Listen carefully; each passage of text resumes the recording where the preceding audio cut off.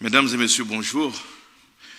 Le Conseil des ministres de ce jour, mercredi 8 juin, euh, sous la présidence de Son Excellence M. Alassane Ouattara, président de la République donc de Côte d'Ivoire, euh, chef de l'État, s'est tenu de 11h à 13h et a porté sur euh, huit mesures générales, disons neuf mesures générales, comprenant donc trois projets de loi et six projets de décret et trois communications.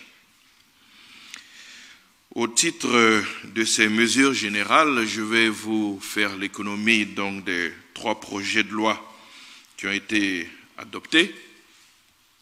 Ainsi, au titre du ministère d'État, ministère des Affaires étrangères, de l'intégration africaine et de la diaspora, le Conseil a adopté un projet de loi portant statut de réfugié. Ce projet de loi, en conformité avec la Convention euh, euh, relative au statut des réfugiés, Convention de 1951, donc qui est relative au statut des réfugiés, permettra de porter, euh, de protéger, de protéger les personnes menacées de persécution dans leur pays d'origine et qui ne peuvent ou ne veulent se réclamer de la protection de ce dernier. Ce projet favorisera également donc la mise en place d'un système d'asile national efficace. Au titre du ministère de l'enseignement supérieur et de la recherche scientifique, le Conseil a adopté un projet de loi relatif à l'enseignement supérieur, à la recherche et à l'innovation qui opère une réorientation des principes directeurs et un renouvellement des objectifs ainsi que des moyens en vue d'adresser de façon durable les problèmes de l'enseignement supérieur, de la recherche scientifique et de l'innovation. Ce projet de loi s'articule autour de trois axes principaux, à savoir, un, donc, euh, le renforcement de l'autonomie des structures d'enseignement supérieur et de la recherche, le renforcement de la qualité de la gouvernance en matière d'enseignants, mais également de financement de la recherche et de l'innovation, et enfin, l'exploitation des résultats de la recherche en vue de les mettre au service du développement et de l'insertion professionnelle donc des diplômés. Il s'agit ici de faire de la recherche-développement une réalité. Au titre du ministère de la Culture et de la francophonie.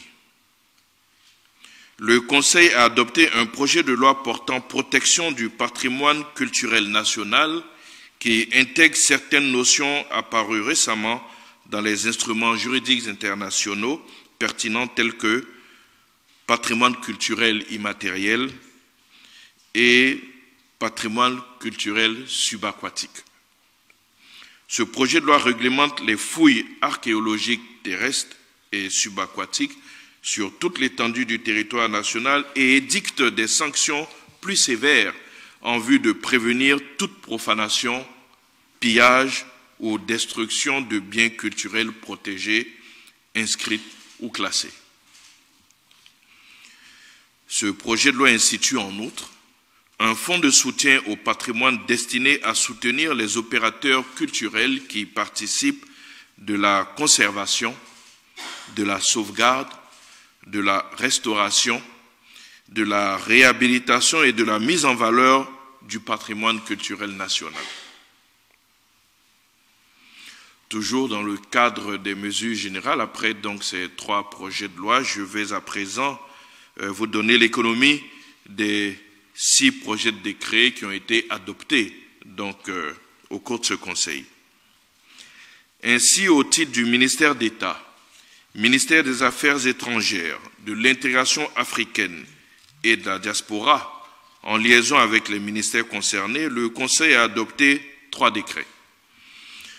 Le premier porte sur la ratification de l'accord de prêt de 134 millions d'euros, soit un peu plus de 87 milliards de nos francs CFA, pratiquement 88 milliards de nos francs CFA, pour le financement du projet de cohésion sociale des régions nord du golfe de Guinée exposés particulièrement aux conflits et aux risques climatiques.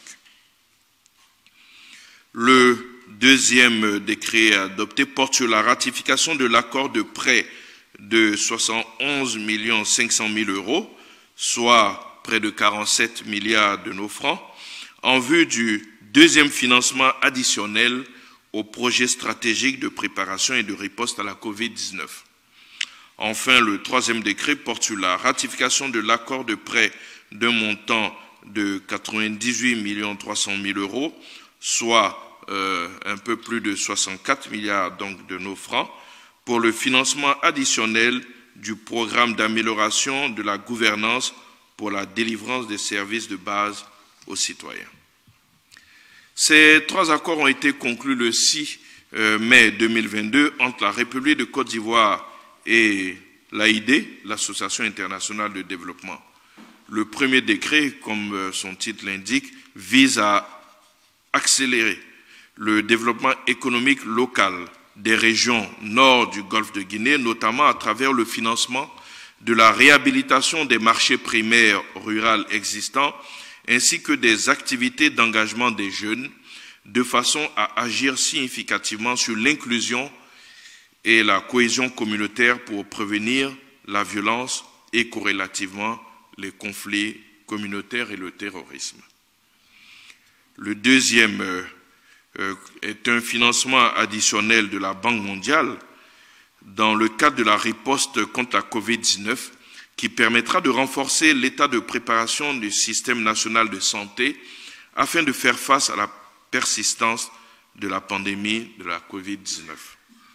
Enfin, le troisième accord concerne le financement additionnel au projet stratégique de préparation et de riposte à la COVID-19 et permettra d'étendre le système euh, intégré de gestion des observations budgétaires de l'État, ainsi que le système de passation de marché en ligne à tous les ministères et au démembrement de l'État et de consolider donc les systèmes de perception des recettes avec la numérisation de toutes les procédures de l'administration fiscale.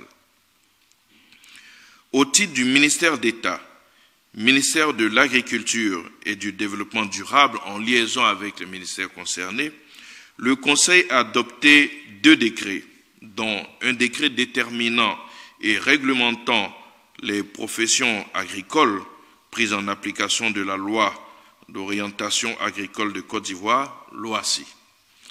Il classifie les professions agricoles en onze branches d'activité couvrant tous les aspects de l'agriculture moderne, dont la culture des plantes alimentaires, industrielles et ornementales, la pêche, l'agrobusiness, l'agro-industrie, l'agropharmacie et la biotechnologie.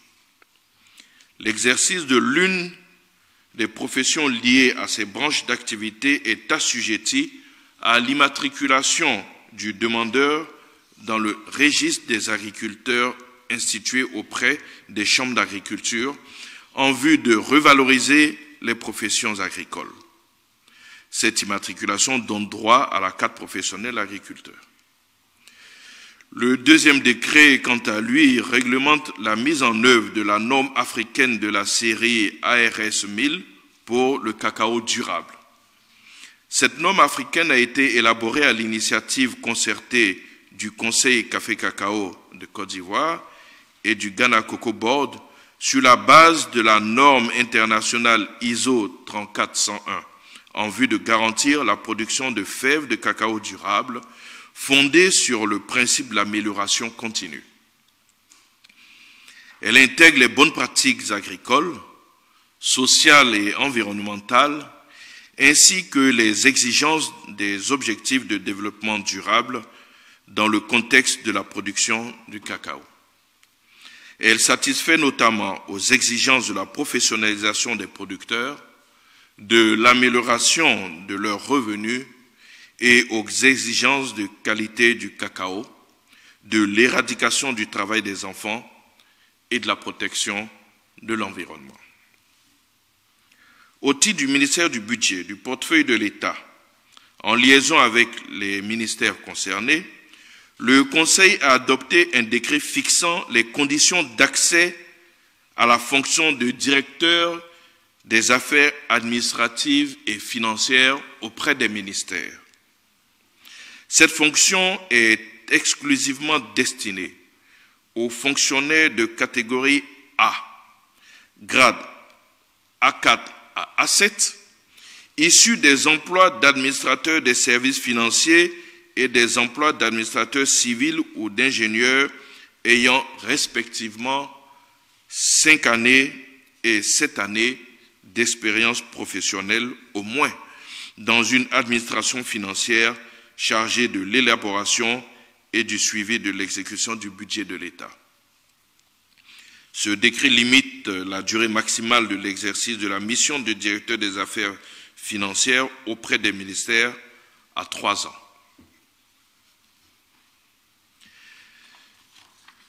C'était donc euh, le dernier décret et comme je vous l'ai dit, trois communications ont été adoptées.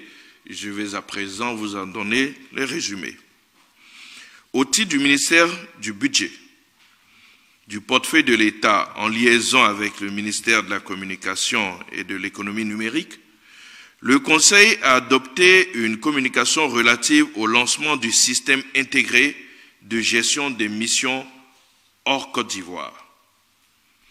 Dans le cadre de la mise en œuvre du projet de dématérialisation du processus d'organisation des missions à l'étranger des fonctionnaires et agents en service dans l'administration publique, le gouvernement, en collaboration avec la Société nationale de développement de l'informatique, a mis en place une application informatique dénommée Système intégré de gestion des missions hors Côte d'Ivoire, SIG-Mission. Et ce système couvre l'ensemble des étapes du traitement des dossiers de mission à l'étranger depuis la phase d'initiation jusqu'à celle du paiement des indemnités des agents en vue de simplifier et d'accélérer le traitement des dossiers et surtout de maîtriser la gestion budgétaire des missions. Depuis la fin de la période transitoire intervenue le 31 décembre 2021, tous les services de l'administration publique sont tenus de traiter toutes les missions hors Côte d'Ivoire uniquement dans le SIG Mission.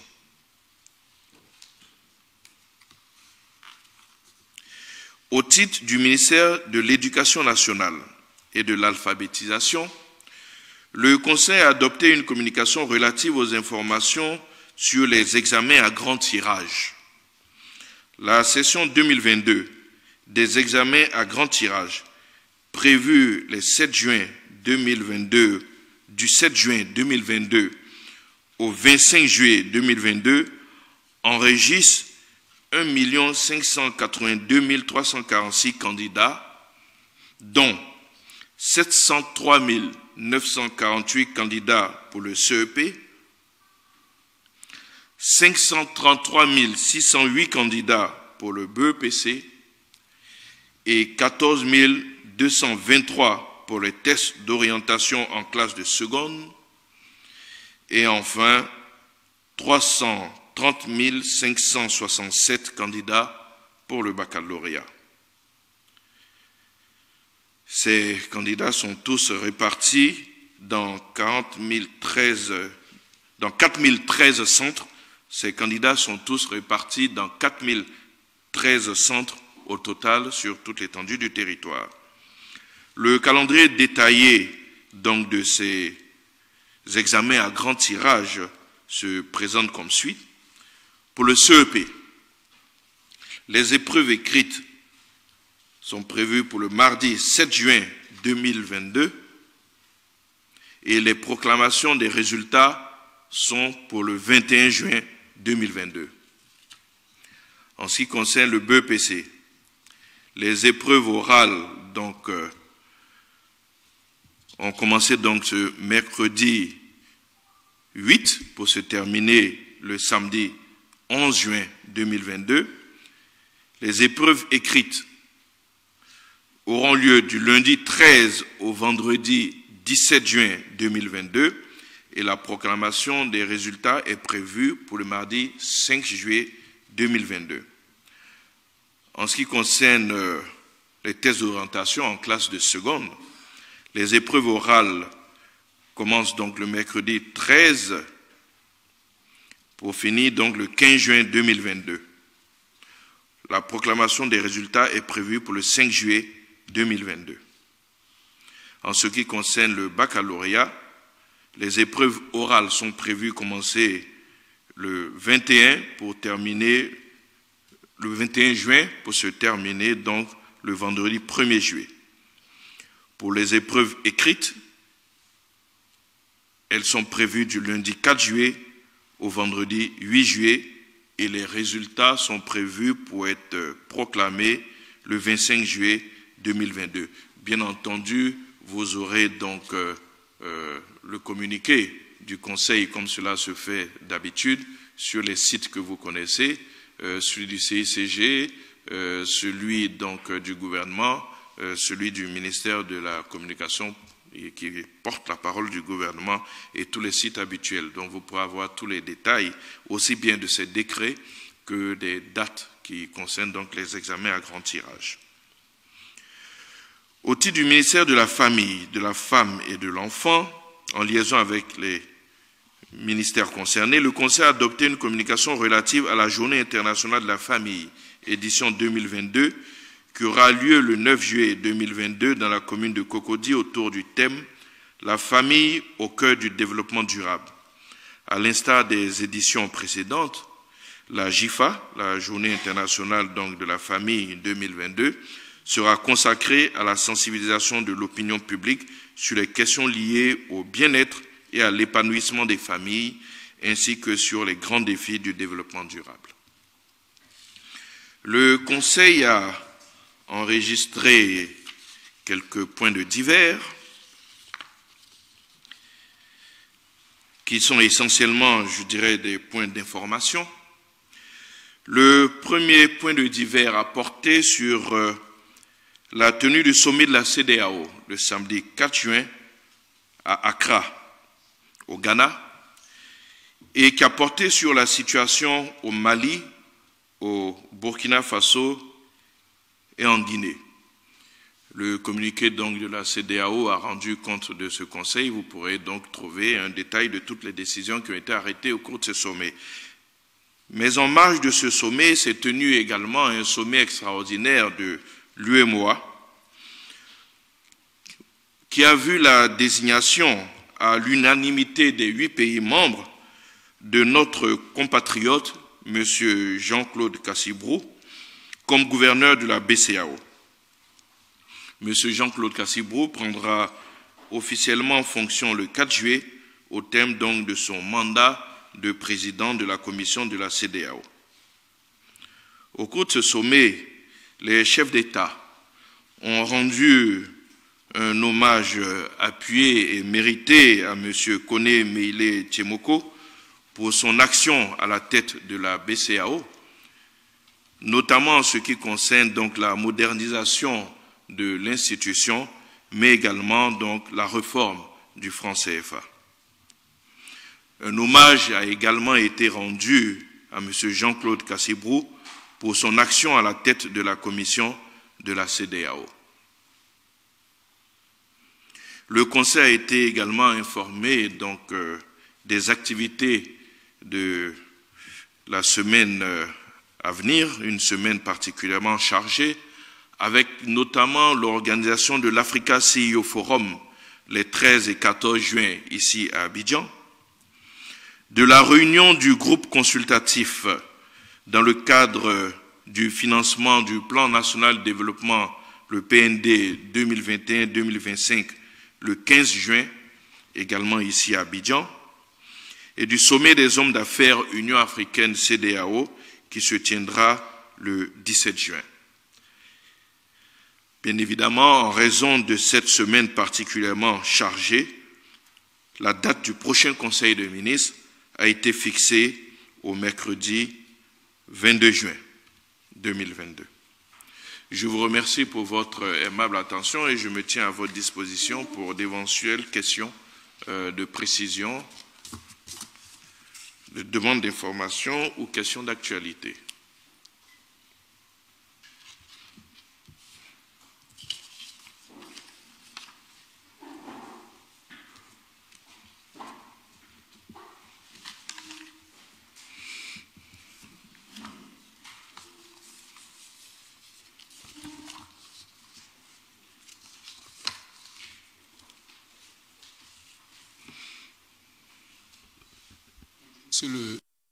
Monsieur le ministre, suis Jules Legenda de artisei.info.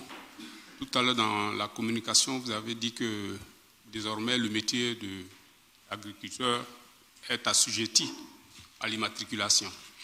Je voulais savoir si cela a un coût ou bien c'est vraiment une obligation pour les cultivateurs d'être immatriculés avant de commencer leur exercice.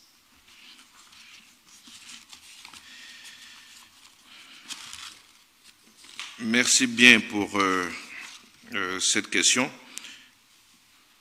Il s'agit, comme cela se fait partout, de réglementer les professions agricoles.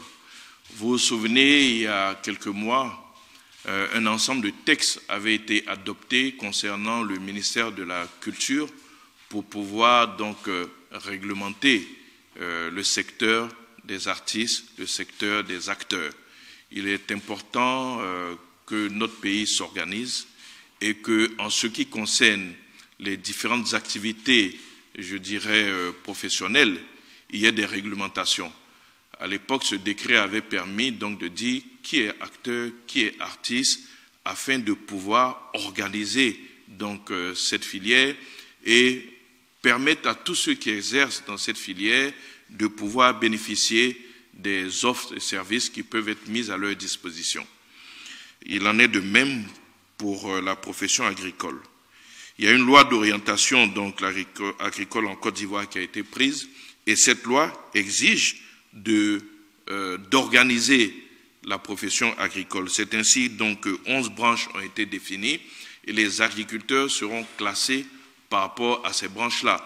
Et inévitablement, une fois qu'ils euh, appartiendront officiellement à la profession d'agriculteur, eh bien, ils pourront bénéficier de tous les services auxquels les agriculteurs ont droit. Donc cela veut dire que si vous voulez bénéficier de toutes les disponibilités, de tous les services que l'État met à la disposition des agriculteurs, il faut que vous soyez identifié, référencé comme tel. Sinon, vous ne pourrez pas en bénéficier. Donc, est-ce que c'est une obligation? Je pense qu'il est de leur intérêt de se faire immatriculer pour pouvoir bénéficier de tous les services que l'État mettra à la disposition des, agriculteurs. Donc voilà ce que je peux vous dire pour répondre à votre, à votre question. Cela fait partie de l'organisation de toutes les filières, toutes les filières professionnelles qui existent et qui ont besoin d'être réglementées.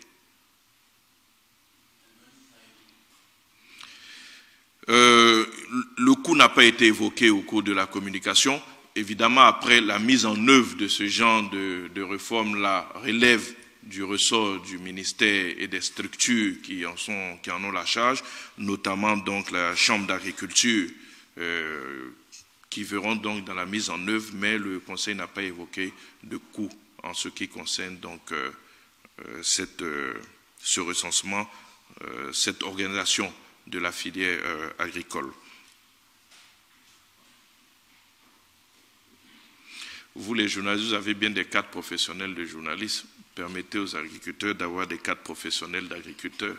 Au moins leur filière sera organisée. Bonjour, Monsieur le ministre. Merci. Je Olivier Dion pour le quotidien L'intelligent d'Abidjan. Je voudrais que vous reveniez un peu sur euh, le statut des réfugiés. Vous avez parlé de la mise en place d'un système d'asile plus efficace. Je voudrais un peu que vous donniez plus de détails. Merci.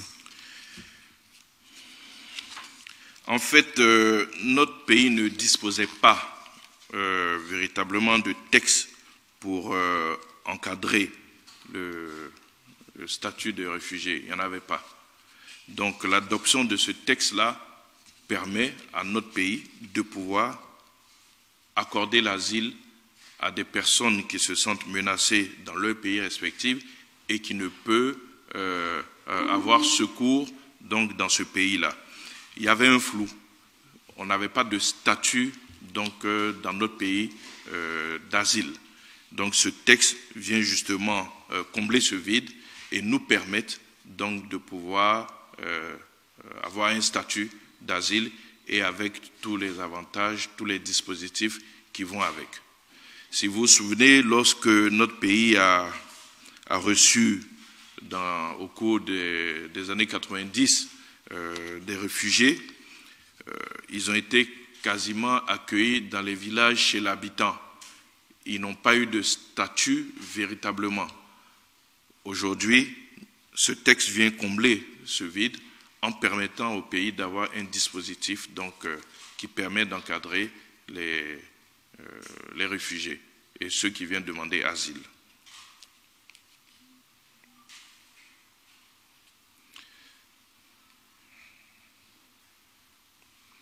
Autre question? Ben, S'il n'y a plus de questions, je dirais sur euh, le Conseil. Je suis prêt à prendre quelques questions d'actualité s'il y en avait.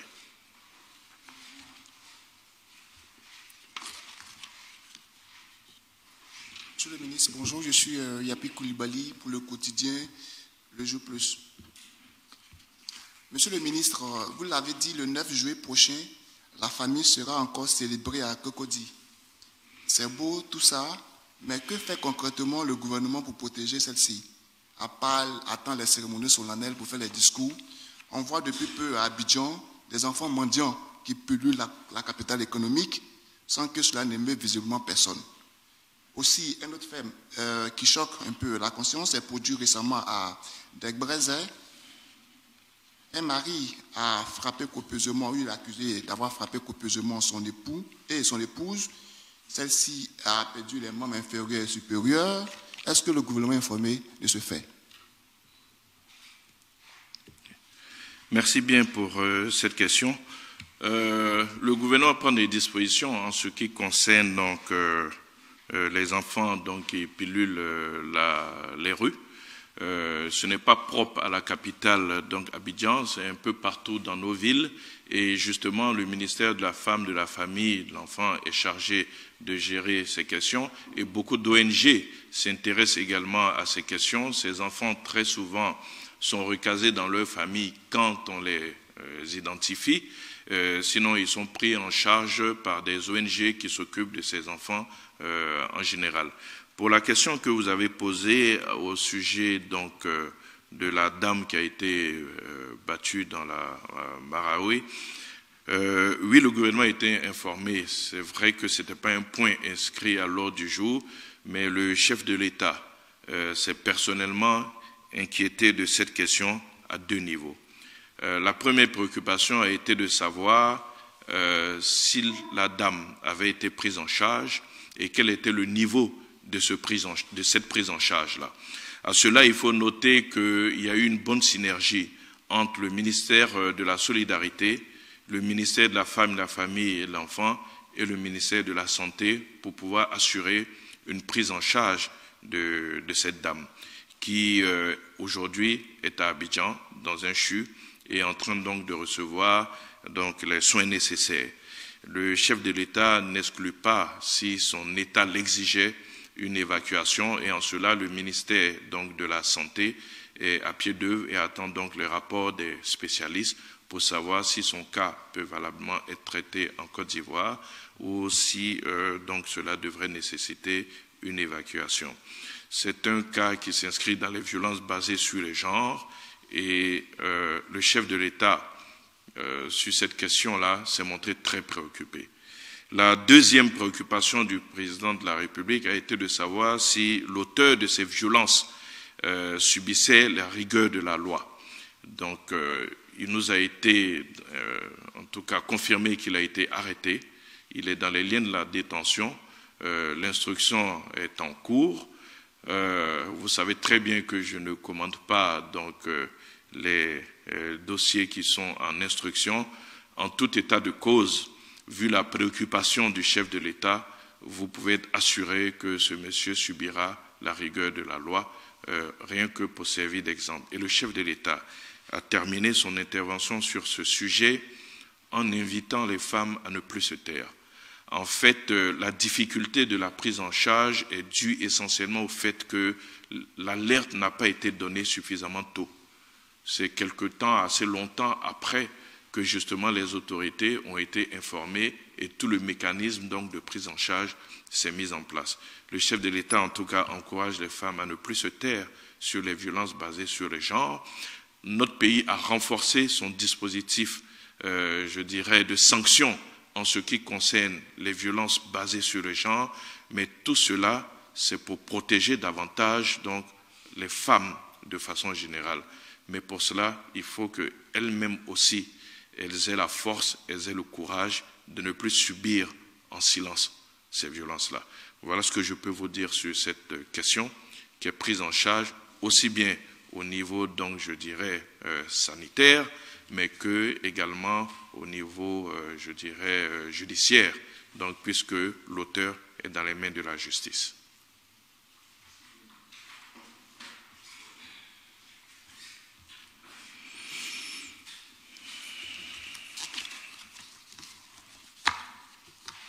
Bonjour Monsieur le ministre, je suis Cyprien Kwasi pour Abidjan.net. Monsieur le ministre, euh, une opération des hommes du colonel Enza Fofana, commandant de l'unité de lutte contre la grande criminalité, a permis de découvrir 13 obus, 6 grenades, 3000 munitions environ, une lance-roquette, un mortier et des chargeurs dans la zone de Sikensi le 18 mai dernier. Monsieur le ministre, euh, nous souhaiterons savoir qui veut trouver la tranquillité des Ivoiriens et permettez-moi d'ajouter que loin de moi de mettre Sikinsi, la commune de Sikinsi, sur l'œil du cyclone, je vais dire en 2011, en 2012, en 2013, en 2014, en 2022, toujours dans le mois de mai ou avril, la ville de Sikinsi, pas possible, on, découvre toujours des âmes dans cette commune. Qu'est-ce qui s'est passé réellement à, Sikinsi Je vais essayer de répondre à la question. Euh, mais je ne peux pas deviner ce qui se passe euh, dans la ville de Sikinsi. Mais ce que je veux dire, c'est qu'il faut saluer l'action de nos forces de, sécurité et nos forces de défense, euh, qui chaque fois mènent des opérations à succès et permettent donc de découvrir ces caches d'armes. Et vous avez pu remarquer que notre pays a retrouvé la stabilité. Euh, stabilité qui montre bien euh, l'efficacité des forces donc, de sécurité, des forces de défense, mais également qui montre euh, la gouvernance du président de la République, gouvernance qui est ouverte, gouvernance faite de main tendue, gouvernance qui est axée vers donc, la recherche de la cohésion sociale et de la paix pour l'ensemble de nos concitoyens.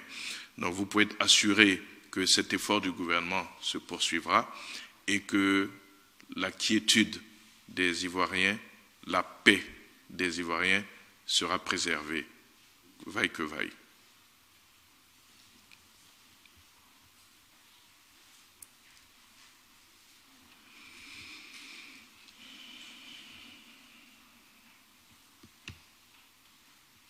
C'est encore l'intelligent d'Abidjan, Olivier Dion. Euh, L'Assemblée nationale a un nouveau président en la personne de M. Adama Bigtogo. Quel commentaire le gouvernement fait-il après cette élection? Merci.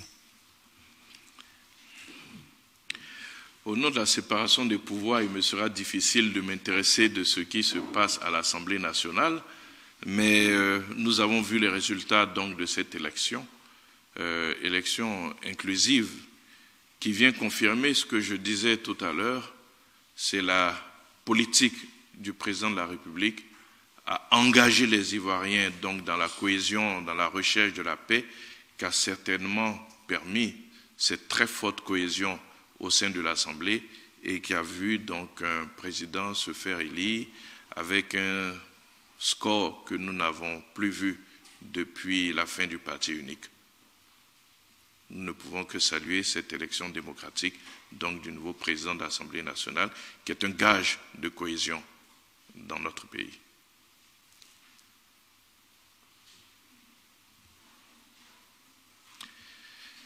Bien, s'il n'y a pas euh, d'autres questions, merci pour votre participation à ce compte-rendu du Conseil des ministres. Vous souhaitez bon appétit et vous donnez donc rendez-vous pour le prochain conseil fixé au 22 juin. Je vous remercie.